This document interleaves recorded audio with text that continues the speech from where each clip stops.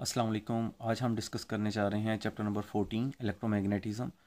सबसे पहले हम उसके most important multiple choice question जो हैं, उनको सॉल्व करेंगे। तो फ़र्स्ट वन है आपका ऐसे unit of magnetic flux density is तो ये यहाँ आपको ऑप्शन जो गिवन है option one tesla weber per metre square newton per ampere per metre तो यहाँ ये आपका ऑप्शन बनता है ऑल ऑफ़ दीज क्योंकि आपके ए बी सी तीनों ऑप्शन करेक्ट हैं। तो यहाँ ऑल ऑफ़ दीज होगा। क्योंकि मैग्नेटिक फ्लक्स डेंसिटी जो बी है, उसके तीन यूनिट होते हैं। आपको इसको मैग्नेटिक फ़ील्ड स्ट्रेंथ भी कहते हैं मैग्नेटिक फ्लक्स डेंसिटी भी कहते हैं इसको। तो अगर आप flux equal to B dot E से बी डॉट ए से निकालें तो आपका टेस्ला भी निकलता है न्यूटन पर एम्पेयर पर मीटर भी निकलता है, और वेब पर मीटर स्केयर भी निकलता है। तो तीनों ऑप्शन आपके राइट ऑप्शन होते हैं। ऐसा यूनिट ऑफ़ मैग्नेटिक इंडक्शन जैसे कि मैग्नेटिक फ्लक्स डेंसिटी है, उसका एक नाम मैग्नेटिक इंडक्शन भी है। Magnetic flux density magnetic induction और मैग्नेटिक फ़ील्ड स्ट्रेंथ ये तीनों एक ही हैं। यानी ये बी को रिप्रेजेंट करते हैं और बी के unit tesla weber per metre square newton per ampere per metre तो यहाँ आपको जो ऑप्शन गिवन है वो टेस्ला है तो आपका बी ऑप्शन राइट ऑप्शन हो जाएगा। ऑप्शन नंबर थ्री के ऊपर चलते हैं। Newton per ampere per metre is the unit of again वही है, जो first three M C Qs आपके रिजेंबल हैं तो ये तीनों तरह से पेपर में पूछे गए हुए हैं। तो आपको ऊपर वाले ऑप्शन में भी पता चल रहा है, न्यूटन पर एम्पियर पर मीटर, वो किसका यूनिट है? मैग्नेटिक फ्लक्स डेंसिटी का यूनिट है। इससे आगे चलते हैं। A tesla is equal to one tesla is equal to तो टेस्ला जैसे कि आपको option M C Qs number one में भी नज़र आ रहा है टेस्ला और न्यूटन पर एम्पियर पर मीटर इक्वल होते हैं। तो आप कह सकते हैं one tesla is equal to A option आपका राइट right ऑप्शन हो जाएगा न्यूटन पर एम्पेयर पर मीटर आगे है आपका गिलवानोमीटर कांस्टेंट इज़ जो गिलवानोमीटर कांस्टेंट होता है, वो उसको सी से रिप्रेजेंट करते हैं।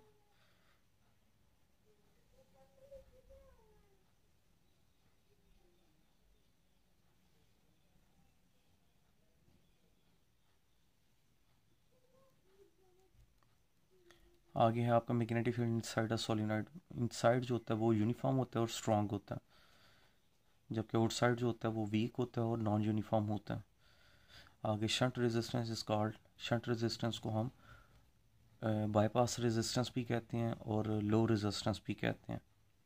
तो इसमें से बाईपास रेजिस्टेंस जो है वो ऑप्शन मौजूद है, इसलिए ए ऑप्शन आपका राइट ऑप्शन हो जाएगा.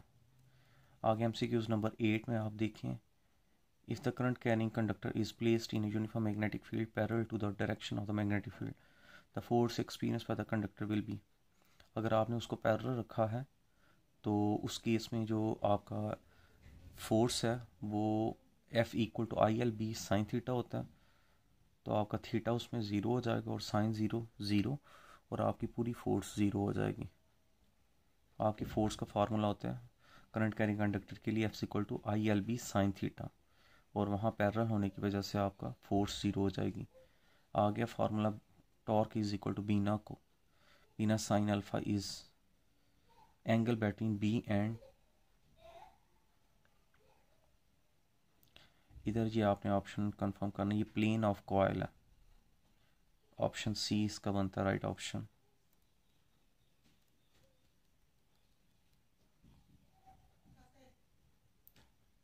Magnetic field outside the solenoid outside क्या होती है? मैग्नेटिक फ़ील्ड जो होता है वो आउटसाइड जो है वो हमारा निगलिजिबल होता है या स्मॉल होता है।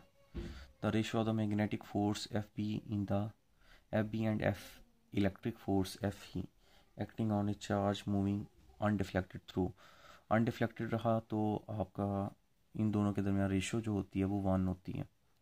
यह आपका स्कॉलर का साइड बॉक्स है। आगे in practical the half deflection method if R equal to this and S equal to hundred आपको आर दिया हुआ इलेवन हंड्रेड ओहम और शंट दिया आपको हंड्रेड ओहम। तो जी पूछ लिया उसने। तो ये आपने प्रैक्टिकल भी किया होगा हाफ़ डिफ्लेक्शन मेथड से जी निकालने के लिए। तो जी का फार्मूला नोट कर लें। जी का फार्मूला होता है ये हम इसको करेंगे नीचे हम इसको आ, मैं आपको लिख के दिखा दिखाता हूँ G is equal to R S divided by R minus S ये फार्मूला होता है। ये मैंने लिख के आपको शो करवाया। ऊपर आपने इनको मल्टीप्लाई करना है और नीचे आप इसको डिवाइड करेंगे। ऊपर आपको जो वैल्यू दी हुई है वो इलेवन हंड्रेड और हंड्रेड दी है। नीचे आपने इन दोनों को माइनस करना है। ऊपर हो जाएगा one one zero zero zero zero divided by one thousand तो थ्री ज़ीरो इससे कैंसिल होंगे तो आंसर आ जाएगा वन टेन तो ये आपका राइट ऑप्शन हो जाएगा। ये देखें, यहाँ प्रेजेंट है। तो आप इस तरह इसको सॉल्व कर सकते हैं।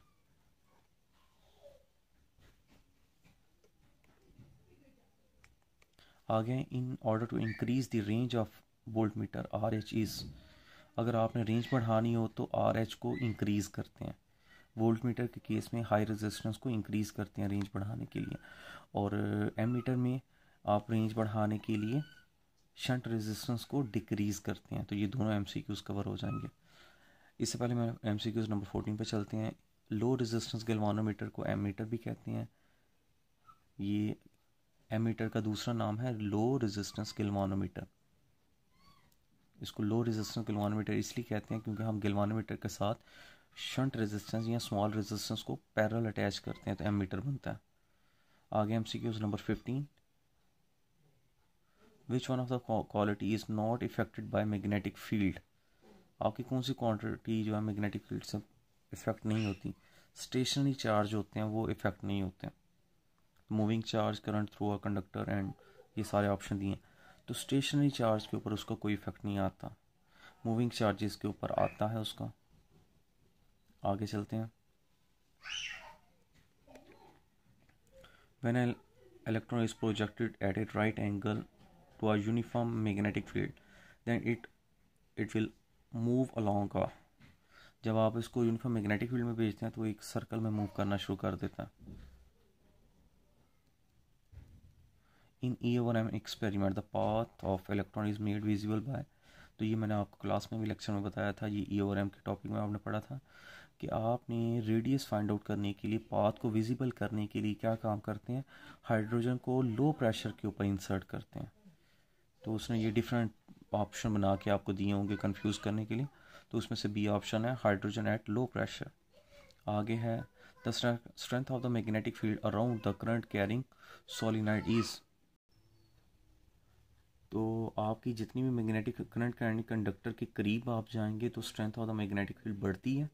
और जितना आप अवे मूव करते हैं तो वहाँ आपकी strength of the magnetic field decrease हो जाती है। तो यहाँ आपका बी ऑप्शन राइट ऑप्शन हो जाएगा ग्रेटर नियर द कंडक्टर आपका M C number nineteen magnetic flux through the close surface depend magnetic flux जो है, वो डिपेंड किस पे करता है? वो आपकी an geometry of the circuit के ऊपर।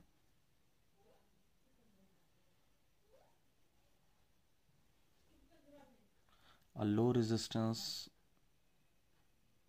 which can bypass as current is called shunt. जो लो रेजिस्टेंस को शंट लगा कर आप करते हैं, इसीलिए उसका दूसरा नाम भी है।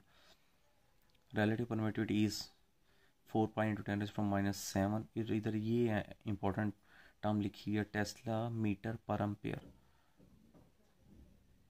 तो टेस्ला मीटर पर अम्पेयर भी ये रिलेटिव परमिटिविटी का ही यूनिट है। तो वहाँ लिखा हुआ weber per ampere per metre. उसको अगर आप चेंज करें तो यही बन जाता है आपका।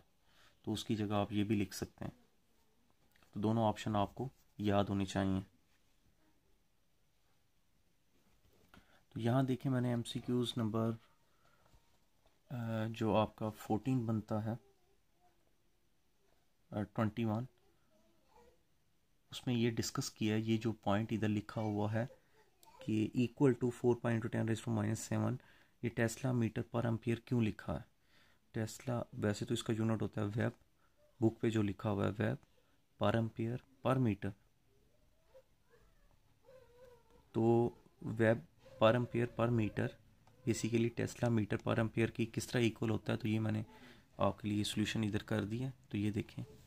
ये है weber per ampere per metre तो वेब की जगह मैंने लिख लिया newton metre per ampere equal होता है ये web newton metre per ampere को कहते हैं तो इसको मैंने पर एम्पेयर पर मीटर लिख लिया।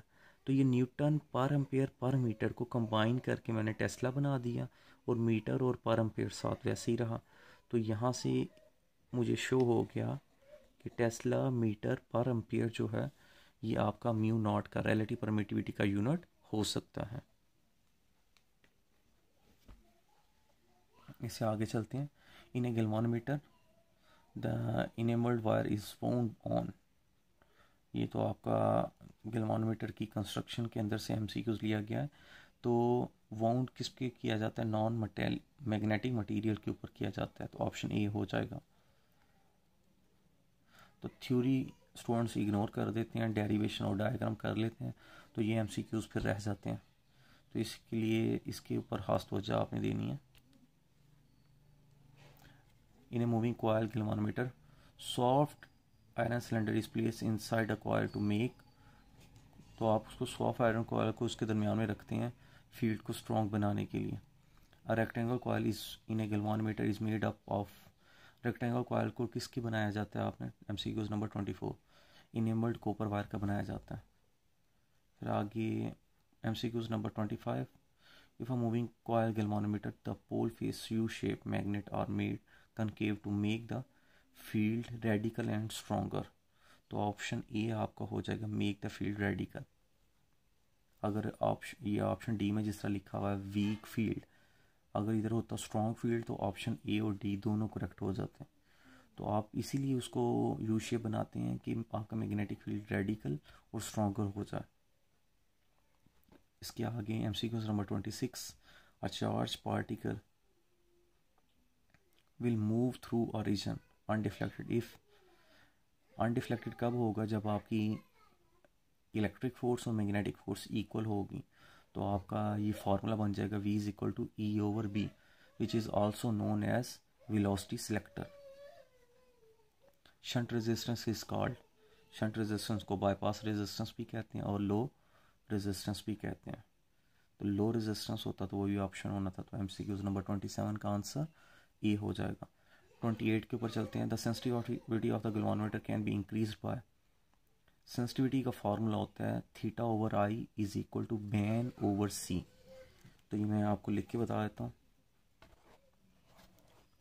जैसे सेंसिटिविटी क्या है?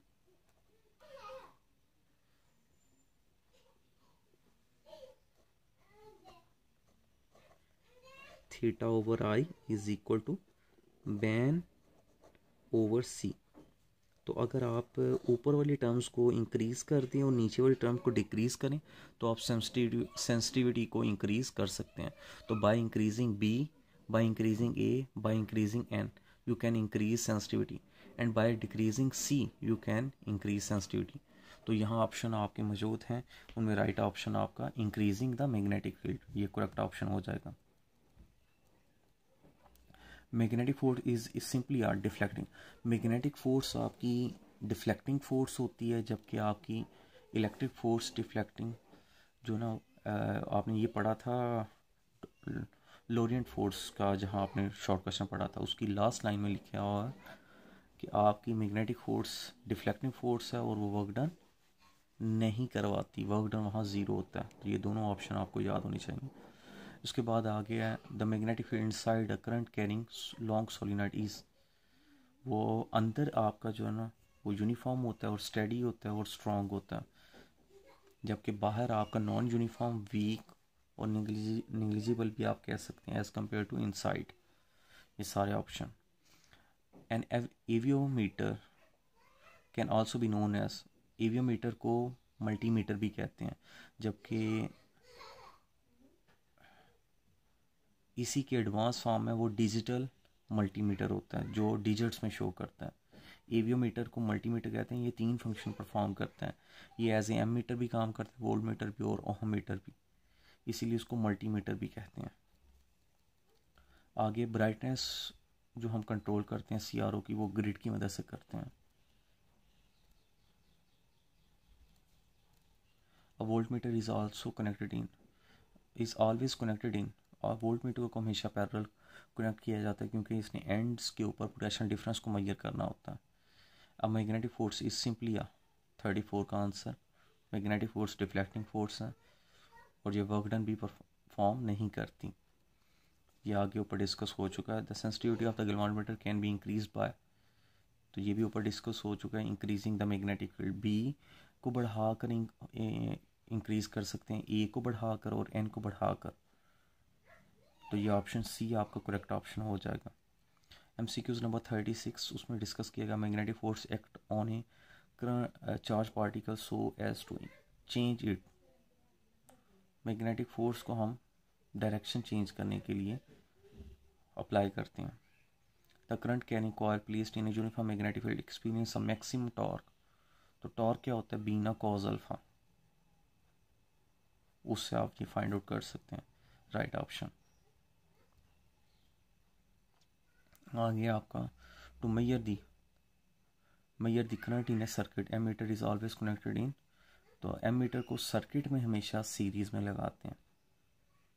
आगे है आपका mathematical expression of B dot del L is equal to mu naught I is known as Ampere's law है ये आपका। आगे shunt galvanometer is called metre उसको एम मीटर कहते हैं। M C Qs number forty का।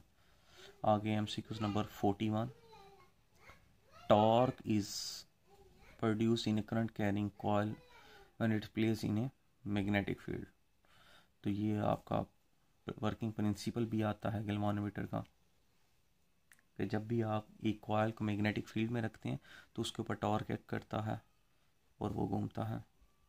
The unit of magnetic flux is web होता है। हेनरी जो है वो सेल्फ इंडक्शन का और म्यूचुअल इंडक्शन का यूनिट है, जबकि वेब पर मीटर पर मीटर स्क्वेयर जो है वो यूनिट है आपका बी का। तो इसलिए राइट ऑप्शन हो जाएगा वेबर आ गया चार्ज पार्टिकल मूविंग ने मैग्नेटिक फ़ील्ड एक्सपीरियंस और resultant force in the direction perpendicular field and its motion आगे है the force the magnitude of force on the moving charge is zero the angle between the velocity and charge carrier and magnetic field is zero क्योंकि यहाँ formula होगा F equal to Q V V cross B तो आपका angle जो बनता है वो V और बी के दरमियान बनता है। इसको मैग्नीट्यूड फॉर्म में लिखा जाए तो हम कह सकते हैं F equal to Q V B sine theta तो यहाँ अगर आपका थीटा ज़ीरो होगा तो फोर्स भी ज़ीरो हो जाएगी। तो आपका M C Qs number forty four का आंसर हो जाएगा ए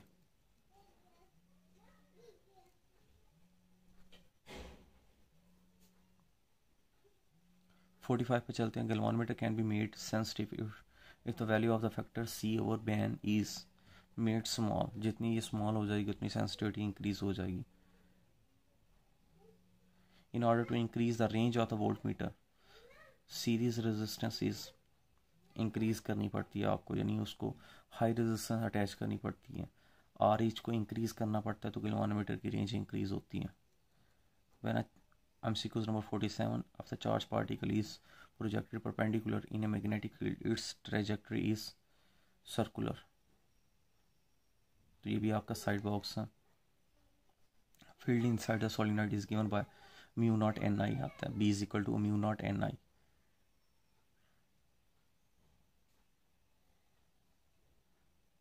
a charge particle moving in a straight line through a some region of space तो दोनों आपके ऑप्शन बनते हैं. No magnetic field in the region magnetic field is perpendicular to the तो आपका बोथ ए एंड बी हो जाएगा. और आगे आगे आपका M C Qs number fifty ये भी आपका कंसेप्चुअल है. Deflection in the galvanometer falls from fifty division to twenty five division when twenty ohm shunt is applicable galvanometer resistance क्या होगी? तो यहाँ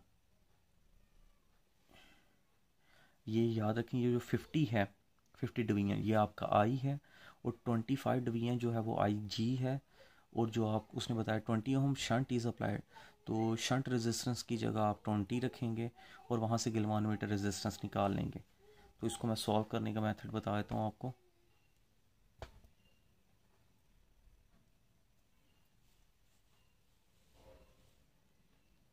एस इक्वल टू फार्मूला आपको, आपने याद किया होगा R S equal to I G, R G over I minus I G तो यहाँ ये आपको वैल्यू दी हुई है ट्वेंटी तो ये ट्वेंटी रखेंगे।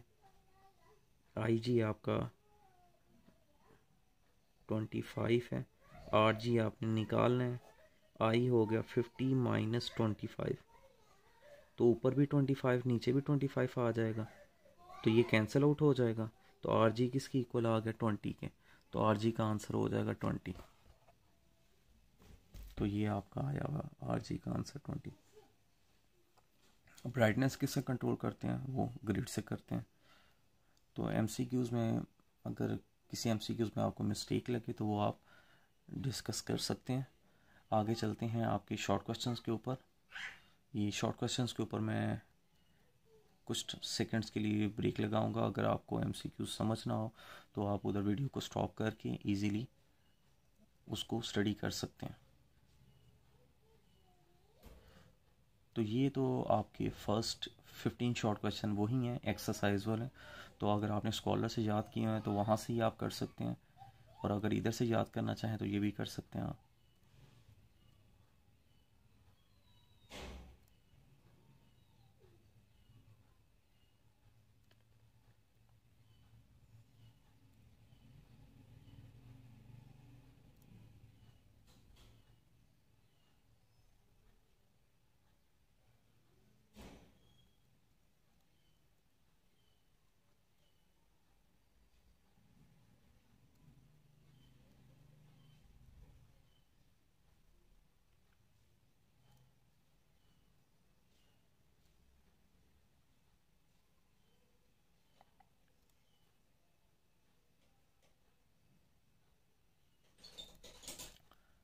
और अगर आपने स्कॉलर से याद किए हुए हैं तो ये स्कॉलर से वाले ही आपने याद कर लेने हैं। इसलिए मैं इधर आपको, वो समझा नहीं रहा आपको।